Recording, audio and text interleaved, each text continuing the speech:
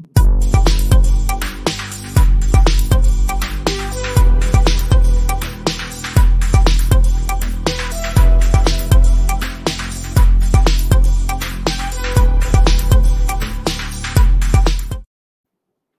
everyone, welcome back to the uh, Seller Growth Podcast, Thursday edition. I got Kris Gramlich uh, here with uh. We're going to be talking about seven ways to build your brand on Amazon. What's up, Kris? Good to see you. Man. How you doing? Doing good, Rob. Nice to see you too. Quite the quite the production you got going on here. Yeah, yep. Changing up the production quite a bit here on uh, the Sell Growth Podcast. So every week, got a little something different. But uh, today, this is a good one. Uh, so a lot of people selling on Amazon, they come on, watch the show and you've got seven steps for building a brand on Amazon. Luckily, Kris gave me the cheat sheet, so I appreciate that. So, uh, you know, and I actually got to read it. This came off a great article that you guys did, uh, and uh, I definitely want to dive deep into this. So, step number one, Kris, we're going to dive right into this. So, everybody, uh, please be sure to hit that like and subscribe. And any questions along the way, put them in the comments section, and uh, Kris and I will be happy to uh, answer those and get things going. So, uh, first step, step number one, let's dive into this. Uh, research your audience and your competitors. Take it away, Kris. Tell us about yeah. Yeah, and now is more important than ever to have a brand on Amazon. We're, we're seeing money being poured in to this space, and people are buying brands, and aggregators are coming in and just taking up brands. So the day of like launching you know, mismatched products and you know spatulas and and dog treats and brushes, like it, it, you're better off building a brand. So when you when you find a product that you're going to that you're going to launch around it, you want to know the audience you're going to launch it to.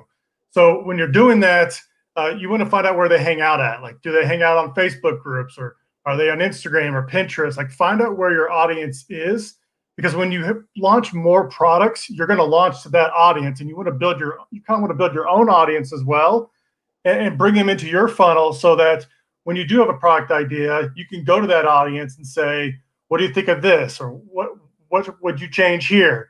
Um, so having an audience now is super, super important, especially as you, if you're going to plan on exiting your Amazon business in the long run. Um, so that's kind of changed in, in, the past year or two, where people were just launching products. Now it's more like come come to Amazon with the exit in mind. Know your audience, find a good product that you want to launch to that audience, and just rinse and repeat. So you're constantly launching products to this audience which is going to help your ranking um, and, and, so forth. So know where your audience hangs out at, know your competitors, see what they're doing, model what they're doing to kind of your listing, um, and just continue to you know nurture that audience, give them good content, you know, do blogs, all that kind of stuff. Because when you exit, that audience is going to go with that with that exit, and that's just going to add more valuation to your to your Amazon business. Yeah, great information there, and that's absolutely true. Right, build that build that business to sell. I mean, why not? That's that everybody's uh, looking to probably do that.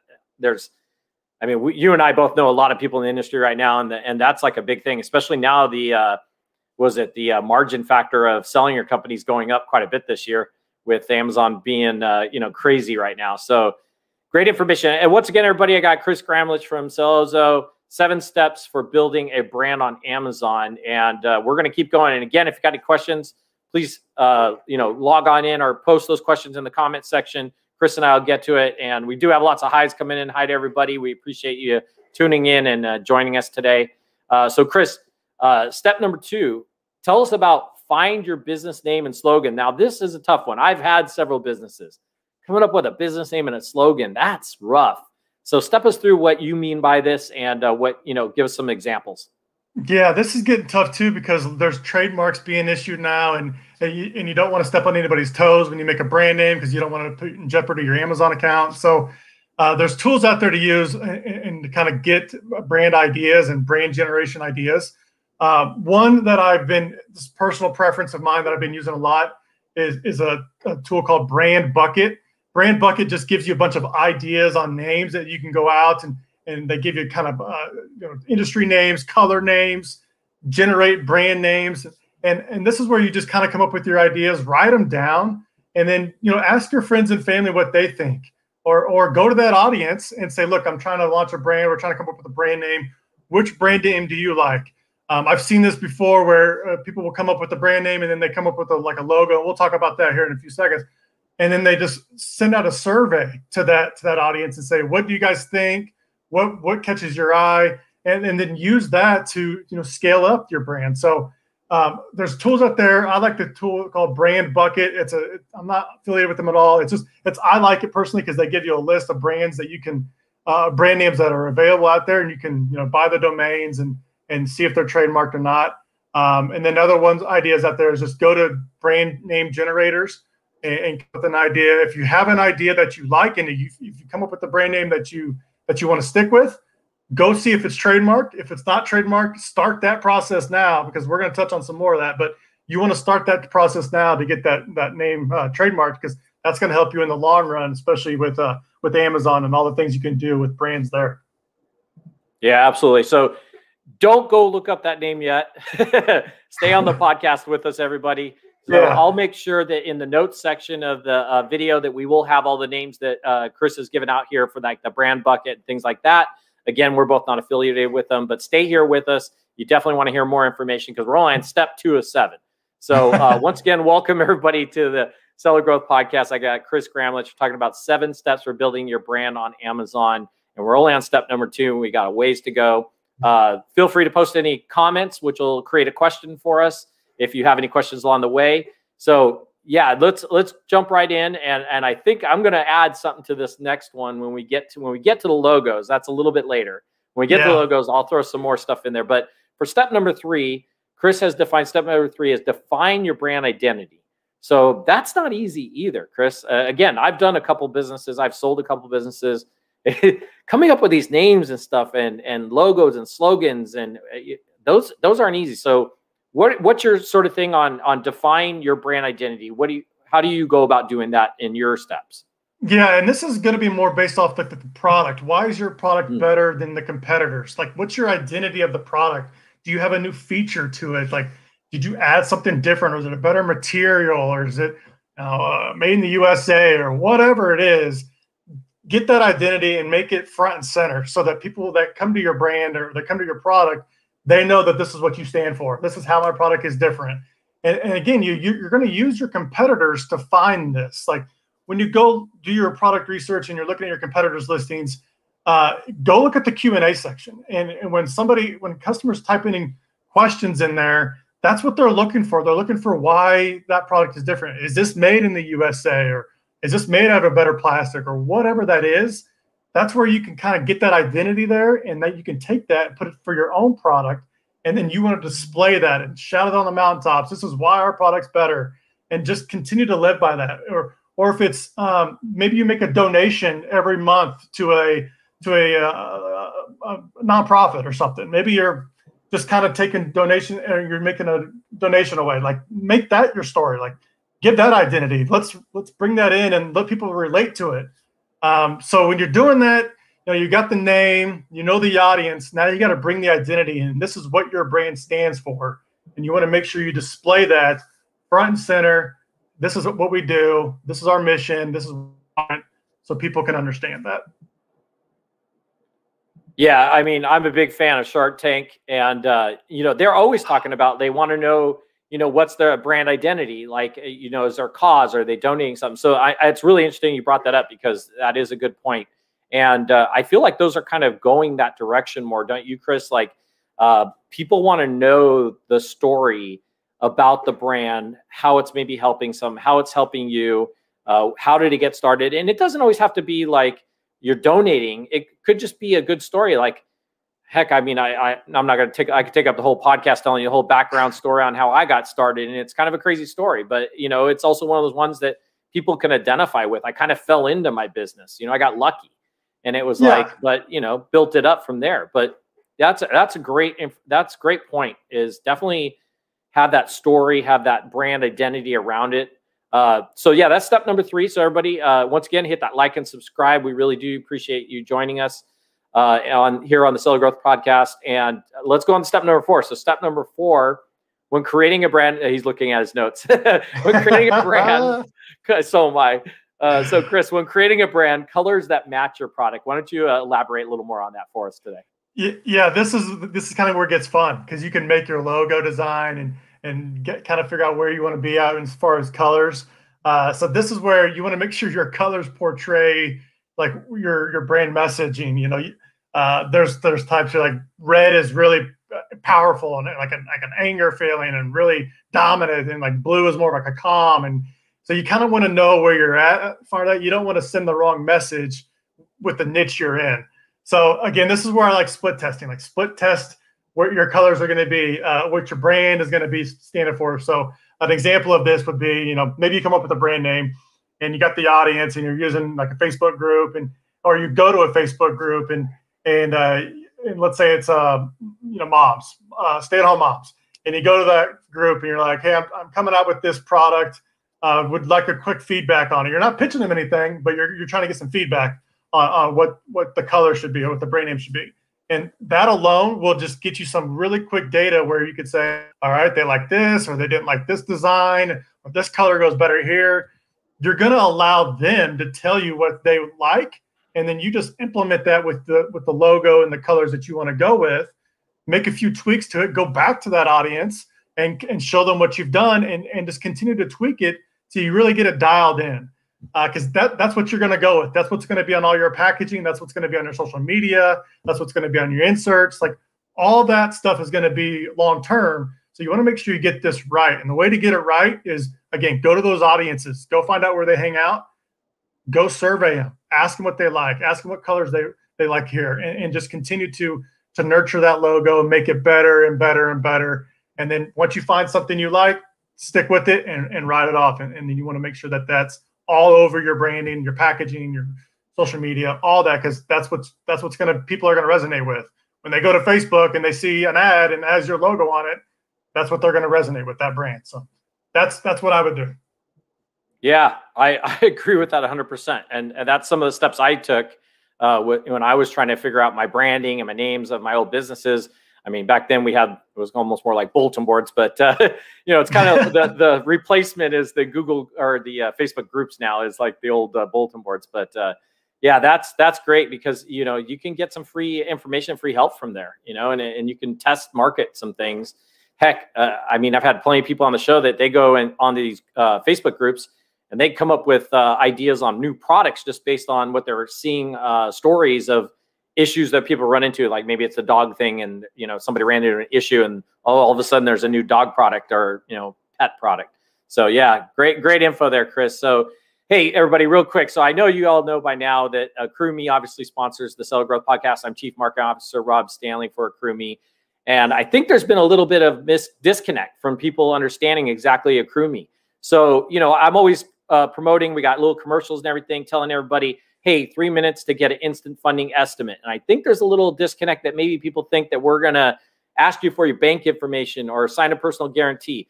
Look at it's pretty simple. The three minute instant funding estimate I keep talking about over at accrueme.com is literally like seven question and it's more about your business so we can just kind of figure out how much you might qualify for. We're not asking for your bank information. We're not asking for uh, you know you to commit to anything at that point.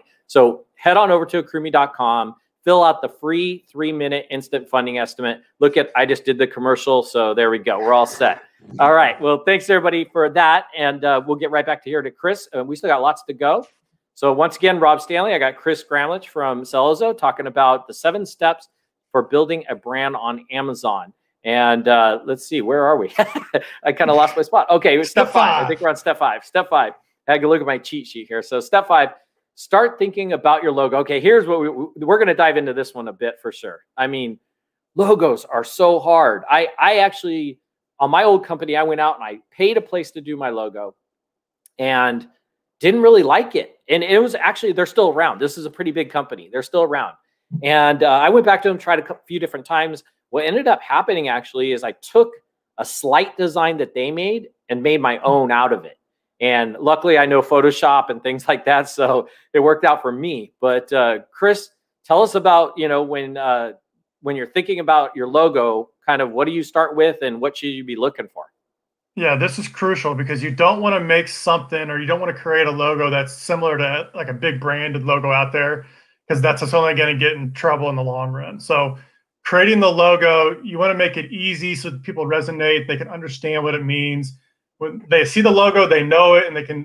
This is what this product is about. So you know, doing the logo right. I, I would again, you know, use your friends and family to to kind of get an idea off of, or there's tools out there you can go check out and and kind of get a logo design, or there's services out there you can even hire. They'll make you logo designs, and then again, you're gonna lo- you're gonna use your your audience that you're building or the groups, the Facebook groups that your people are hanging out in. You're gonna go back to that group and display a logo and just like which one do you like better. Now all this needs to be done probably with you know contacting the admin of the group and just saying, look, I'm trying to get some feedback, trying to start something here, and, and maybe that will let you in. But there's tons of Facebook groups out there, so that you should have no problem doing this. But you just want to, you know, go ask them again. And, and what you're doing is you're just you're building trust, right? You're you're going to that group. Here's what I'm trying to do. Here's what I'm trying to do. Here's I got a logo. Here's my colors. Here's my design. Here's my product. Like, you're starting to get in their mind a little bit more. And, then when you get this logo, you want to go get it. You want to make sure that it's not anywhere close to any other trademark out there. I, I, talked to a couple sellers, and, and and the guy he was doing well, and then all of a sudden his product went on page one. It was ranking really well, and then a big brand came in and said his logo looks too similar to theirs, and it, it basically shut him down for for a while. I think he even lost a lawsuit. So you don't want to go that route. You want to you want to make sure your logo is is not something that's going to be a copyright infringement or any of that stuff because you don't want to mess with that in the long run. So when you get a design, go you know talk to an attorney or a lawyer or whatever and make sure that, that that's right because you don't want to have to deal with that in the long run. Um, and then you know use your audience to to get those designs. So you can tell we're, we're using other people's advice and we're using other people's uh, input to create the brand because that's the audience we want to go to. That's what we're going to launch products to. It's going to be easier to launch products to this audience in the future because you've already nurtured them. So again, I, I harp on it, but just you know, use your audience to your advantage because it's going to help you with your products, especially launching new ones in the long run. There. Yeah, yeah, and I mean, so I mean, you can see we're building up here. We're building up all the information. We're giving you all the background information on things to do. Uh, and how many times, Kris, do we see somebody just goes, finds a project, throws up on Amazon, it blows up. They don't have a brand name really. They kind of created something. They don't have a logo. They don't have anything built out around it. And now they have to backtrack. They almost have to like step back. And some of these processes can take a little time. You know, some of these things that Kris is talking about. I mean, even a logo, it takes a little time on a logo. Now, everybody hang tight real quick. Do not click on this link yet. But one of the places, obviously, if you get a logo done, you can take a look at PickFu. Just had PickFu on a couple weeks ago. That's a great place to go. Go check out the video I did with them or the podcast slash video I did with them with PickFu on how to basically take your logo, get feedback, be able to redo it and get more feedback, and then come up with a final logo that's just amazing. That at least you, uh, in you know, you like Kris said, you could always start with friends and family to narrow it down to a couple and then maybe take it over to them. So I just got to throw that out there. But stay here with us because we got more information, uh, obviously coming up. So again, I got Kris Gramlich from Sellozo talking about seven steps for building an Amazon brand or a brand on Amazon. So, like Kris and I just said, all these things lead up to something. So, next step, steps number six Amazon brand registry. You have to do the things we're talking about before you do the brand registry. So you got to go dive into that, Kris. I don't need to take uh, all the information because you know I'll just sit here and talk. So go ahead, Kris. yeah, and to touch base real quick on PickFu, definitely use that service. Go check out PickFu; they're awesome. It, it's a great yeah. service to split test things. So I couldn't I couldn't agree more. So okay, brand registry.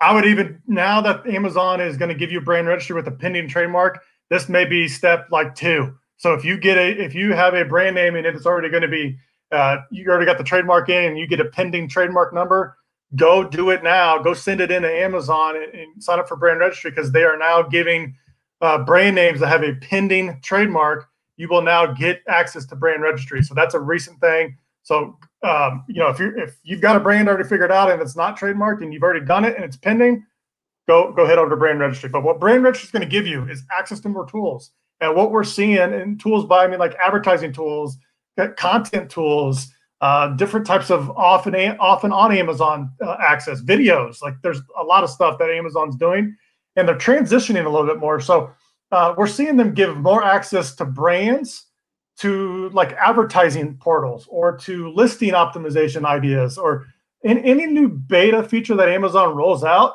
People who are in brand registry, they're going to get it first. So it's it's going to be best for you and your business to get in there right away. So brand registry, super simple to set up. You simply just p- provide the the ID. You tell the brand name. You have to have a little bit of a website there. They'll show you the website, and then you'll get access to brand registry. And now your account is going to be open to all these things that like video ads, A plus content, uh, post. Like there's a bunch of stuff, and you're going to be the first to know. And the, the people that act first are going to be the ones that get in. They're going to be the trailblazers. They're going to be the ones that get the cost per click super cheap. So I, I can't harp on it even more. I would probably even move this up the page a little bit because it, it's it's something that's going to give your business, your Amazon business, more access to tools that you can market your products with. And I think it's only going to get better in the long run. We're seeing it. Um, Rob, I'm sure you are too. Amazon's starting to favor brands a little bit more and more every time. Yeah, yeah. So real quick, everybody, we we definitely appreciate those likes and subscribes. If you're watching us on YouTube, down in the corner is a little, I think it's a white and red thumbs up. We'd appreciate if you hit that and subscribe to our channel so you get a pop up when uh, basically we go live. Yeah, thanks, Kris. And uh, of course, if you're watching us on uh, Facebook, hit that you know hit that like. And uh, so I'm not sure if the comment section working. So if anybody's out there, hit us up in the comment section and hit us up with a quick question or just say hi or something so we make sure everything's working. And uh, you know, but before we do that, real quick, real quick, Kris, and before we come back with the final step, number seven, which is a good one, and we're in this one, I think is going to be a little more deep. We're going to have to, you know, stick on to this one a little longer. Uh, we do have a quick commercial from our sponsor, Accrueme, right here.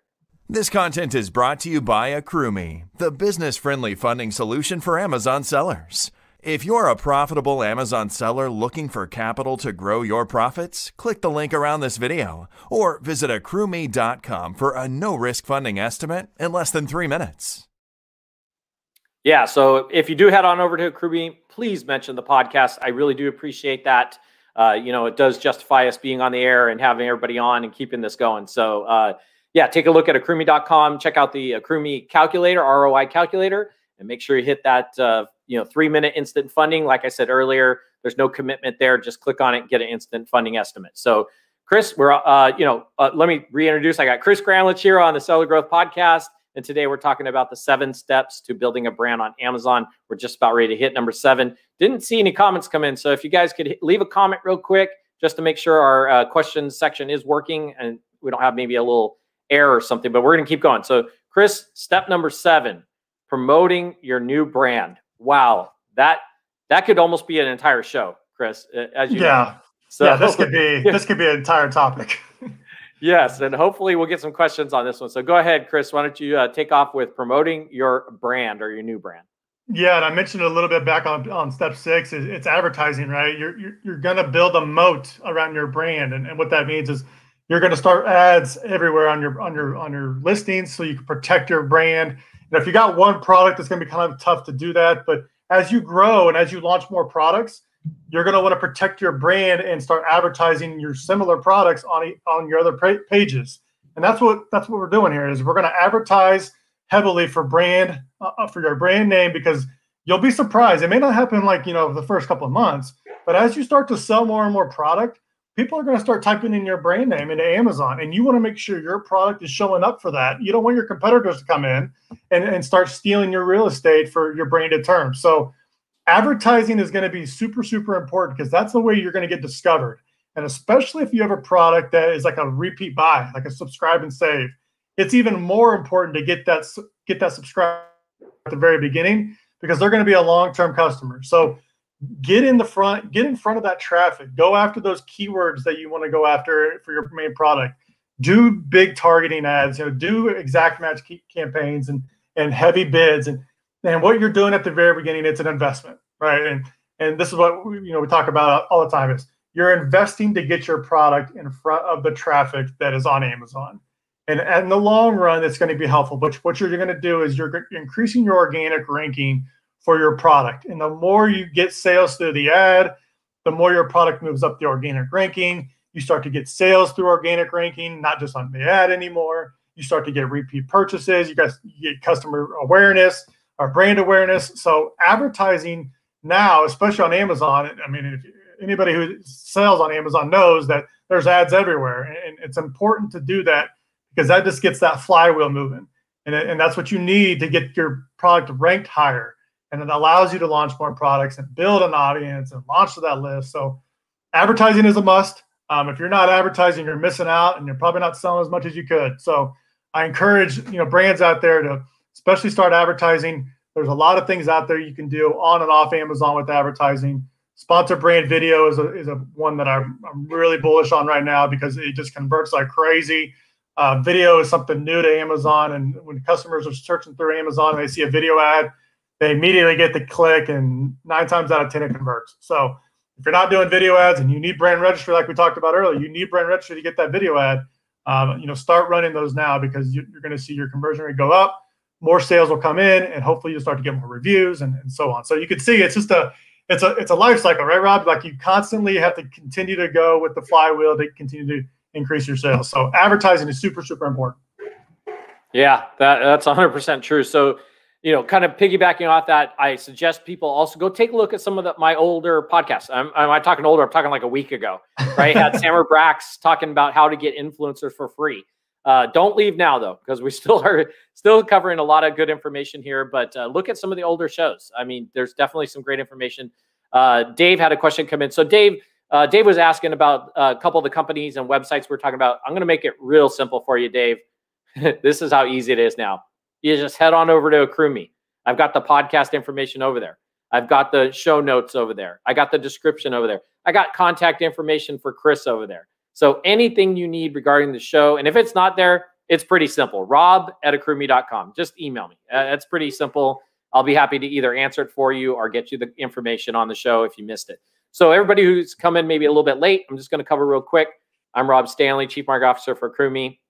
Welcome again uh, to the Seller Growth Podcast. I got Kris Gramlich of Sellozo, and we've just been talking about the seven steps for building a brand on Amazon. And if you did come in late, I'm going to go over those steps real quick with you. And if we missed something, Kris, be sure to jump in there, and uh, you know we'll add more. Right. So yeah, step number one: research your audience and your competitors. We definitely covered that, and that was great information on. And in fact, you even uh, a couple extra times mentioned about uh, you know checking on that. Number two, step number two, find your business name and slogan. That's a big one, and that could take a while. Kris gave some great tips on that. And again, we'll post uh, some links and stuff and information about where to go. Uh, define your brand identity as step number three. Uh, step number four, when creating a brand, using colors that match your product. I think that's a great one uh, to build off around that. Step number five, start thinking about your logo. Wow, we, we definitely covered that one uh, quite a bit. And again, for that one, go back and look at my at the other older podcasts. Uh, take a look, go over to accrueme.com, find the podcast section, and there you go. Step number six, uh, Amazon brand registry. And then finally, step number seven, we just talked about promoting your new brand. So, wow, we covered quite a bit there, and that's some great info. So, Kris, I uh, really appreciate you being on and going over all this information with me and helping out everybody. I mean, that's really what we both do podcasts for. It's all about really helping the audience and the sellers and people out there to connect with you know these different uh, people that have information because everybody has something a little different. Sounds like your dog's getting mad there, Kris.